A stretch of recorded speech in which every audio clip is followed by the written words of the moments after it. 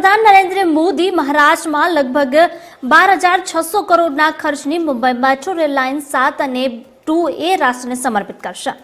Metro rail લાઇનનો શિલાન્યાસ PM Modi બે હજાર પંદરમાં કર્યો હતો તો વડાપ્રધાન બાંદા કુલ્લા કોમ્પ્લેક્સમાં એમએમએ આરડીએ મેદાનમાં યોજનાર સમારંભમાં ગટર શુદ્ધિકરણ પ્લાન્ટ, એક રોડ પ્રોજેક્ટ અને છત્રપતિ શિવાજી મહારાજ ટર્મિનસના પુનઃવિકાસનો શિલાન્યાસ પણ કરવાના છે.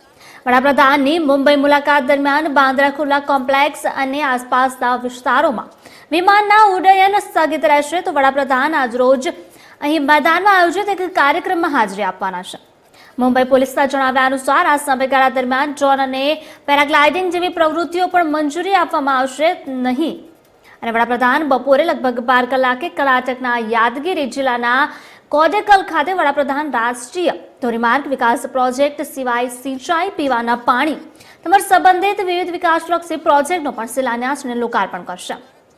ત્યારબાદ લગભગ સવા બે વાગ્યાની આસપાસ કરબુર્ગી જિલ્લાના માલખેડ પહોંચશે. ત્યારે તાજેતરમાં જ કર્ણાટકની વડાપ્રધાનની આ બીજી મુલાકાત હશે.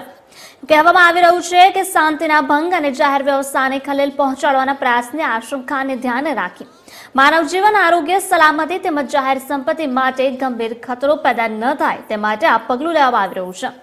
મુંબઈ પોલીસના એક અધિકારીએ જણાવ્યું કે બીકેસી ખાતે વડાપ્રધાનના કાર્યક્રમમાં મોટી સંખ્યામાં વીઆઈપી આવવાની પણ અપેક્ષા હોવાથી સુરક્ષા વધારી દેવામાં આવી રહી છે. વડાપ્રધાન મોદીની આજની મુંબઈ મુલાકાતને લઈ અને કેટલાક રસ્તાઓ વાહન વ્યવહાર માટે બંધ કરી દેવામાં આવ્યા, તો વડાપ્રધાનની આ મુલાકાત પહેલા કેટલાક રસ્તા ઉપર ટ્રાફિકના રૂટ પર બદલવામાં આવશે.